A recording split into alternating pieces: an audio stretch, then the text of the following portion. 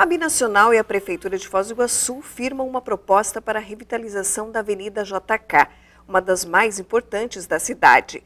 A Binacional ainda assinou um convênio com a Prefeitura de Foz do Iguaçu que vai reduzir a enorme fila de espera dos usuários do Sistema Único de Saúde para cirurgias eletivas de média e alta complexidade no município. Mais de 22 mil pacientes aguardam em Foz do Iguaçu por esses procedimentos cirúrgicos. O convênio tem vigência de um ano. O investimento da Binacional é de 13 milhões de reais. Com esse recurso, o município poderá realizar as cirurgias represadas na cidade, tanto no Hospital Municipal Padre Germano Lauck ou em qualquer outra unidade hospitalar da região. Nós ampliamos o atendimento para áreas que nós julgamos estratégicas.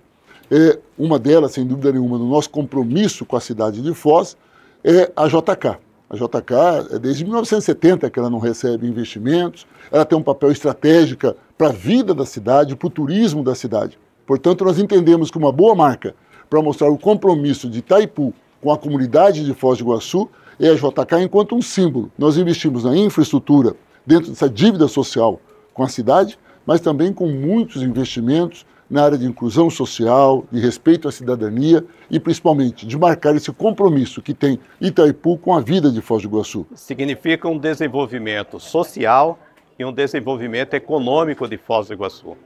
É, o social, nós temos principalmente um convênio com a Prefeitura, através da Secretaria de Saúde, onde serão realizadas mais de 7 mil cirurgias eletivas, uh, tanto cirurgias de média complexidade como cirurgias de alta complexidade. Isso vai nos ajudar muito a aliviar a dor daquelas pessoas que estão esperando alguns anos para a realização dessas cirurgias.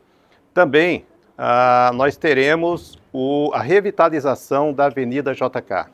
Essa revitalização envolve tanto um projeto de drenagem urbana, envolve é, um canteiro central com previsão, uh, com previsão de ciclovia, de calçadas, um asfalto novo, um calçadão na terceira pista da JK, ou seja, uma revitalização completa desse grande corredor turístico de Foz do Iguaçu, que liga exatamente ao Paraguai, que liga a Itaipu e que hoje realmente precisa dessa revitalização. Então, são investimentos que contribuem no desenvolvimento turístico, no desenvolvimento econômico, mas sem deixar de olhar para o desenvolvimento social, que é transformar a vida das pessoas e aliviar a dor das pessoas.